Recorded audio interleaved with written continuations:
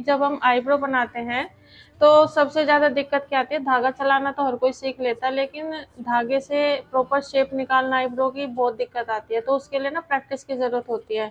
वैसे तो मैंने कई सारी वीडियो ऑलरेडी बना रखी हैं, जो कि एक कपड़ा आता है सनील का, उस पर हम आईब्रो ड्रॉ करेंगे और उस पर हम आईब्रो की शेप निकालेंगे। तो उससे बहुत इजीली हमारी आईब्रो की शेप निकल जाती है, लेकिन आज की वीडियो में एक नया टॉपिक लेकर, एक नया तरीका लेकर आई हूँ हमारे घर में काफ़ी सारी जैसे कि पुरानी जीन्स पड़ी हुई होती हैं, हम लोग उससे, उस पर भी आईब्रो ड्रॉ करके प्रैक्टिस कर सकते हैं।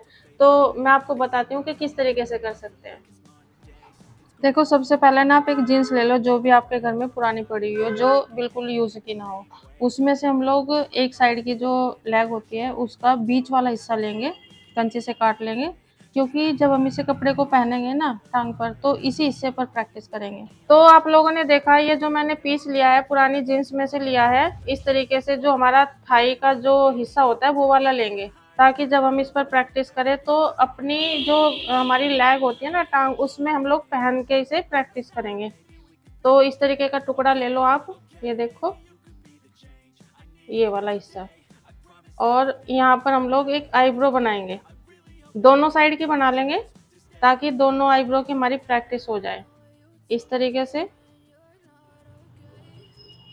बिल्कुल सेम उसी तरीके से आईब्रो बनाएँगे जैसे कि हम रियल में बनाते हैं।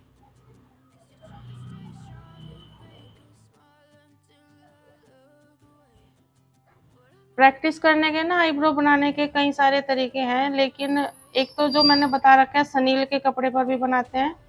उसके लिए आप आई बटन पर मैं वीडियो लगा दूँगी।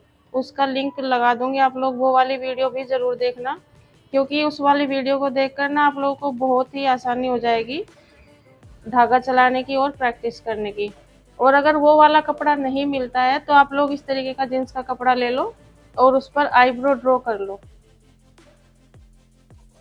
ये ऑप्शन तब है अगर आपको वो कपड़ा नहीं मिलता।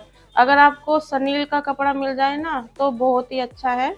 उस पर आईब्रो बनाओगे तो बहुत इजीली सीख जाओगे प्रैक्टिस करके, क्योंकि वो एक रुएदार कपड़ा होता है और आईब्रो की तरह जैसे हमारे बाल निकलते हैं ना आईब्रो में से, उसमें से, कपड़े में से भी एक रुआ होता है, वो निकलता है तो शेप निकल जाती है।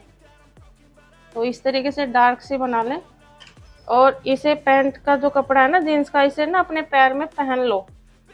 जैसे हम लोग जीन्स पहनते हैं तो उससे क्या होगा, ये हिलेगा भी नहीं और बिल्कुल फिटिंग के साथ आ जाएगा हमारी टांग के ऊपर। पैर के ऊपर, ठीक है? देखो इस तरीके से, मैंने पहले भी जीन्स पहन रखी थी, मैंने उसी के ऊपर से जो है इसको जीन्स के जो टुकड़े को डाल लिया और सेम उसी तरीके से करेंगे। देखो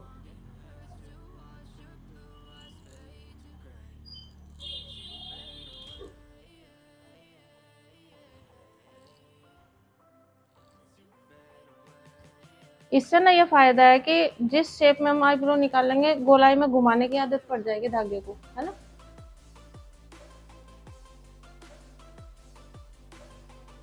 इस तरीके से।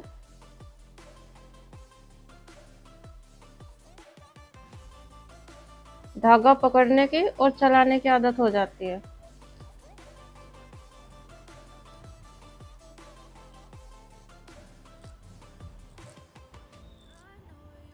हमें ध्यान क्या रखना है? कि जब हम धागा चलाते हैं ना तो हमारी जो एक कैंची है, ये इस तरीके से कपड़े से टच होकर चलनी चाहिए। दोनों साइड की ना ऐसे ही प्रैक्टिस कर लो, और अगर सनील का कपड़ा मिल जाए तो वो इससे भी बेटर ऑप्शन है। बाकी आप इस तरीके से प्रैक्टिस कर सकते हो। आपको ये तरीका कैसा लगा, कमेंट करके ज़रूर बताइएगा। और वीडियो अगर अच्छी लगी हो तो लाइक ज़रूर करना। मिलते हैं नेक्स्ट वीडियो में नए टॉपिक के साथ। तब तक के लिए बाय